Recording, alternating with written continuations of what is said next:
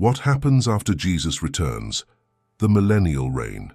The millennial reign, Revelation 20, 4, 6. And I saw thrones, and they sat upon them, and judgment was given unto them.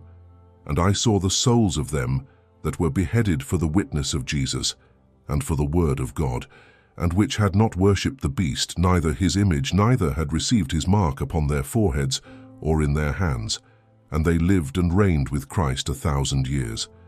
But the rest of the dead lived not again until the thousand years were finished. This is the first resurrection. Blessed and holy is he that hath part in the first resurrection. On such the second death hath no power, but they shall be priests of God and of Christ, and shall reign with him a thousand years. Jesus Christ shall reign on earth for a thousand years. There are some theologians who believe that this thousand years is symbolic and not literally a thousand-year period. I firmly believe that it is a literal thousand years, the reason being that six times in Revelation 22:7 the term 1,000 years is explicitly and specifically mentioned. If God wanted to communicate a long period of time, rather than 1,000 years specifically, he could have easily done so without repeatedly mentioning the exact time frame of 1,000 years. Can you imagine 1,000 years with Christ as our ruler? A world with no fear. A world where you will not need to lock your doors at night. A world with the perfect physical and spiritual environment. That is what the millennial kingdom will be like.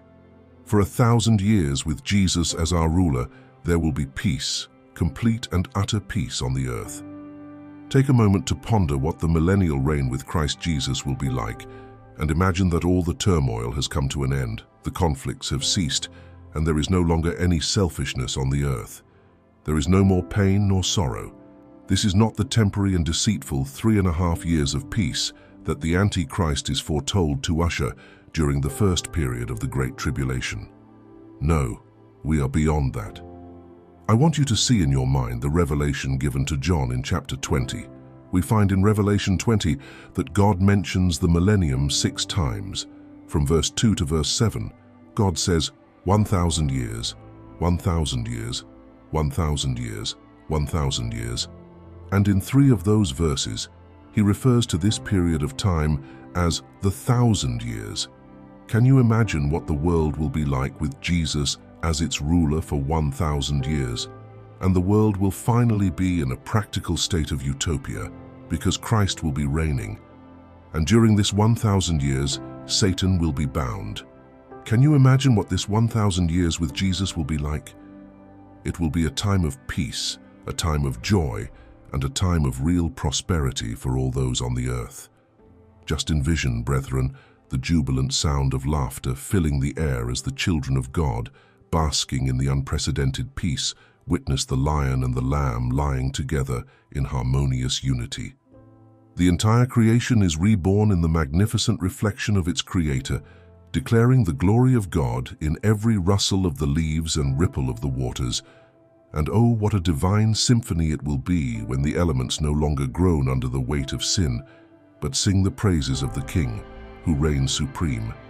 The heavens declare his righteousness, and every blade of grass dances to the melody of his holiness. The very air breathes out the glory of his presence, saturating the earth with the fragrance of celestial joy.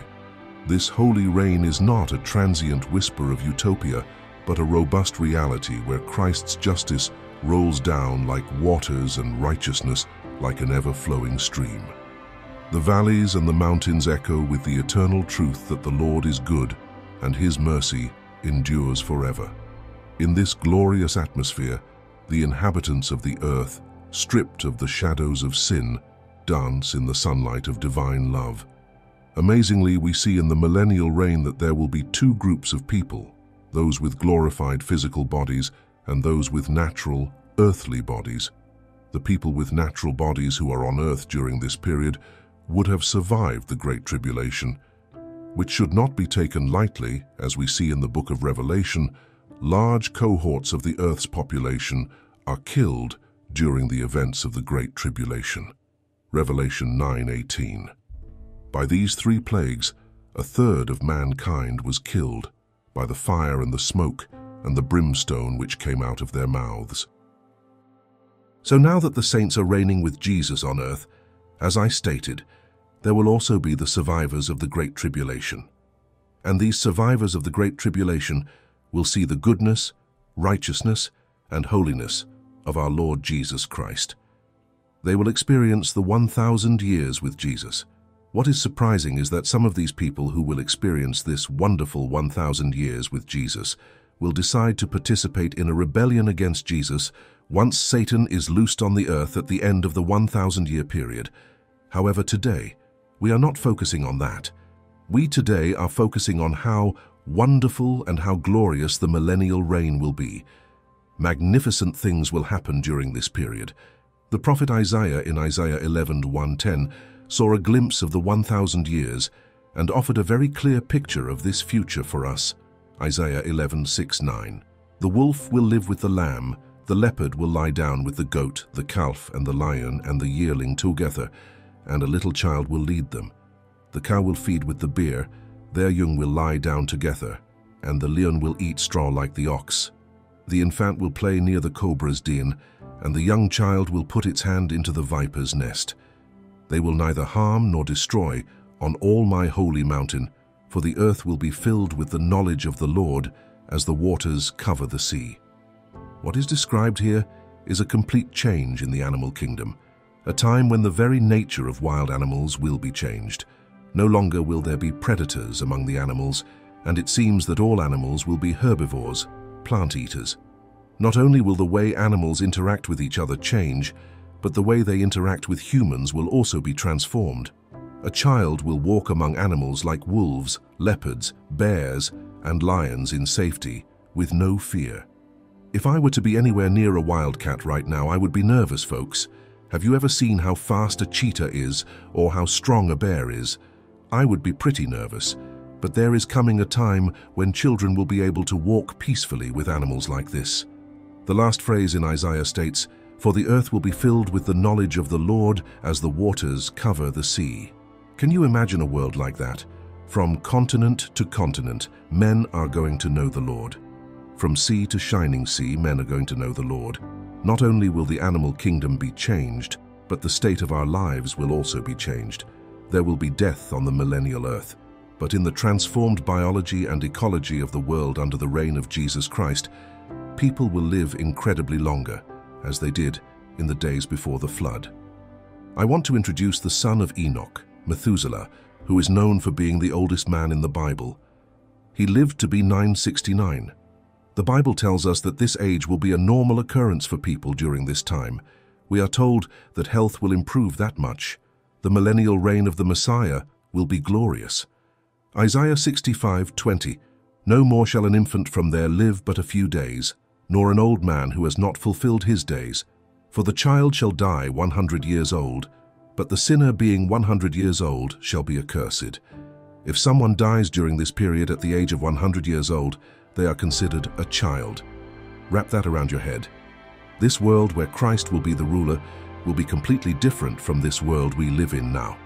There will be people born in this millennial reign of Christ Jesus, and all they will ever know is the wonderful world with Christ as their ruler. It almost sounds like a dream, doesn't it? It makes you wish that it was here today, doesn't it? All these people will know is a long life growing old with their loved ones. Imagine a world where people know their great-great-great-great-grandparents. Grandparents love their grandchildren. Grandparents absolutely adore their grandchildren. Now imagine being able to see generation after generation of their offspring. Wonderful. That will be possible during the millennial reign because of the lengths of people's lives. It almost sounds like a dream, doesn't it? It makes you wish that it was here today, doesn't it? Aren't you tired of this world and all of its sin, death and destruction? I look forward to living in a world where the Lord Jesus Christ is sitting in Jerusalem on the throne of David, and the joy of the Lord covers the face of the earth. Not only will we be able to live longer and healthier lives, but we will also be able to walk amongst animals we wouldn't go anywhere near today. Society will be safer, Children will be able to play on streets. People won't have to lock their doors. Life will be lived without fear. People will be able to walk home at night with no fear. As a father, I have had to speak to my children and warn them about how sick and how mean and ruthless this world is. But during the reign of Christ, this world will be safe. Parents won't need to make such cold but necessary talks to their daughters or sons. Praise God, praise God. Doesn't that make you wish it was today? Somewhere safe for your children. Even so, come, Lord Jesus Christ. Even so, Lord, come today. Our minds cannot understand the complete, utter bliss we will experience, King Jesus in his righteous rulership. I praise God for this prophecy. Take hope, brothers and sisters, that we will reign with our Lord and Saviour. In this reality and in front of those who are alive at that time, the kingdom of the Lord will come to earth as it is in heaven for 1,000 years.